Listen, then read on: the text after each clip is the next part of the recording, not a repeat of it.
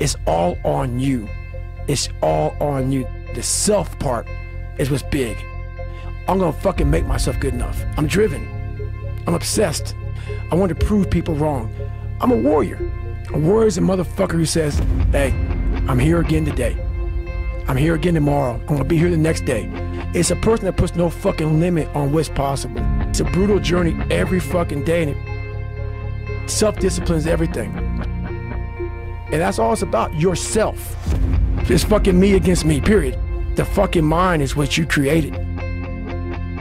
Just me alone in my thoughts. I train alone. I prepare alone. I get after it alone. You're gonna have to fucking suffer, man. This is how you get somewhere in life. Motivation is crap. It's shit. It comes and go as how you feel. Fuck that shit, man. Fuck that shit. I'm not gifted. I'm just driven. So that's when you move from motivation to driven to obsessed. It's how you get through that on a daily basis. We forget how badass we are during that hard time.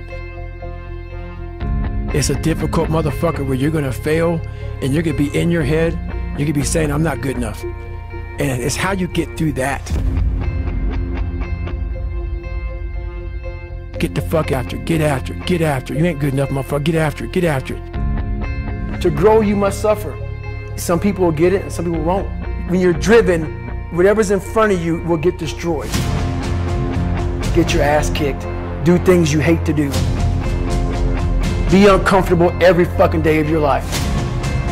You have to believe in one thing, and that is yourself. I'm gonna fail. I'm gonna fucking fail. I'm gonna fucking fail. I'm gonna fucking fail. And I will succeed.